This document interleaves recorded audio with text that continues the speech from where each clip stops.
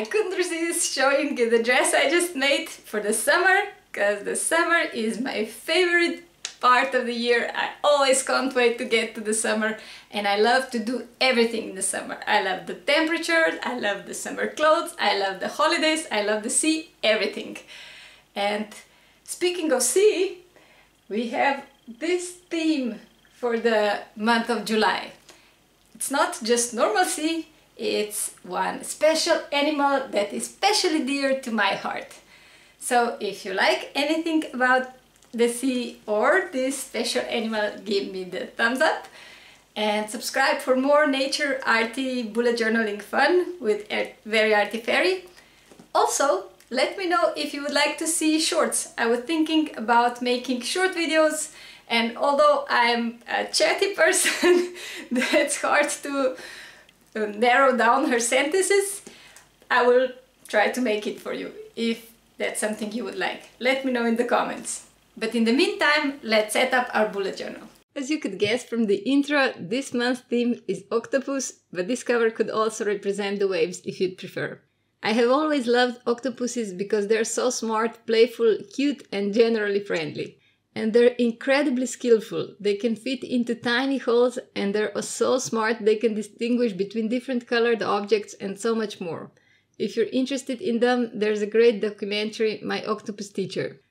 So I always loved octopuses, but I didn't know they were so popular among other people.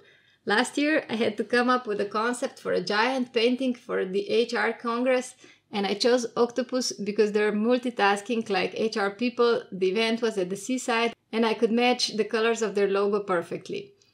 They told me I can make things different, so I threw in this idea just for fun, but they loved it. I never thought so many people identify with octopuses. But if you're not into octopus, you could utilize this first spread as a stylized waves and it would still make for an interesting cover. Add a few splashes if you want and maybe some bubbles and that's it. That's the whole reason I chose the blue tones for the covers, because I wanted it to be versatile enough for a different sea theme if you choose so. Later on, you'll see I chose a different color for every spread, but they're all in the violet family as our octopuses typically are. I usually make elaborate monthlies, but this time I chose a very simple style. Just a line a day. July is my holiday month, so I hope I will have a little bit less on my to-do list and I shouldn't need anything fancy since I won't check my bujo every day most probably. If you're not into drawing, you could also just put a sticker in the corner or glue a cutout image from the magazine or something similar. I just like to draw and paint, so I seized the opportunity to do so.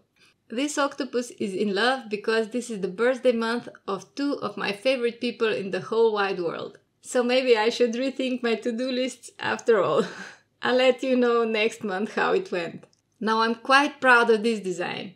I came up with the idea of intertwined and interlocked octopuses, one for each day. You could have totally left it blank and colored it according to your mood if you'd like a mood tracker, but I know I won't use it this month so I just left their big heads empty to write in whatever I want. You could also use this spread for your monthly. Or the one on the next page, or the combination of the two. On the right hand side, you have a line for every day, so it's pretty much the same concept as for the simplest monthly I showed you previously. I normally don't use vertical lined style, but if you're looking for a quick and simple layout design, you can't go wrong with that. The only real downside for me would be that the days are not grouped into weeks. I know I could still group seven lines together, but I like to have Mondays below Mondays, for example. However, that's just my silly brain. Many people prefer the lines. They're easy to read and easy to find the date. And for holidays, the day of the week doesn't matter so much. So this is the time to try it. You could, however, interlock seven octopuses in a bunch together, and the cluster of octopus would represent a week in that case. But I'm not sure that would be much clearer. But I wanted to have this whole page of octopuses interlocked, so I chose this one and did the line monthly. In case you didn't know, octopus can change color to better blend in with her surrounding. So I took the liberty of colors. Although they're never blue as the tentacles on my cover, I don't think they would mind much. on the other page, I drew some wavy lines, one for each day of the month, and colored them in with different shades of blue and violet. These two spreads might look intricate, but they're actually not that difficult to draw. they just take some time. That's why I spared you and just cut one part. the last spread is probably my favorite. Although the design is very simple, just a giant octopus in the left bottom corner, I still like it a lot. She looks alive to me, or maybe that's just because I've stared at octopuses way too long and now I see them coming to life. I drew quite some octopuses for my July Bujo, and you get the next portion next week, when you'll see all my octopus weeklies. I recently heard an interview with the creator of the bullet journal method, Ryder Carroll, and his thoughts on the artistic Bujo. I loved how honest he was that he was not a huge fan of artistic bullet journal at first because it seemed like a total opposite from his minimal bullet point method, but since then he changed his mind when he talked to artistic bullet journalists. Is that a word? Bullet journalist? They told him the secret. We embellished our spreads because that's what keeps us going. I know I use my Bujo much more when it's pretty. I don't like to stare at the ugly to-do lists. I'm not a black and white person. I like color. really, this makes me want to do it and makes me want to do more. So, in case you're wondering, that's my why. And it also makes for a nice excuse to draw. And here's the final flip through. I really, really enjoyed this theme. I know I say that every month, but that happens when you can pick the theme yourself for something that you love to do.